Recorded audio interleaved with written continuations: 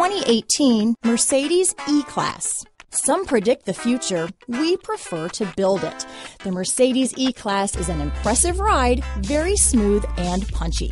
This vehicle has less than 15,000 miles. Here are some of this vehicle's great options. Power passenger seat, traction control, navigation system, dual airbags, power steering, four-wheel disc brakes, eight speakers, electronic stability control, power windows, rear window defroster, security system, heated front seats, trip computer, remote keyless entry, HD radio, power moonroof, brake assist, tachometer, overhead console. Searching for a dependable vehicle that looks great too?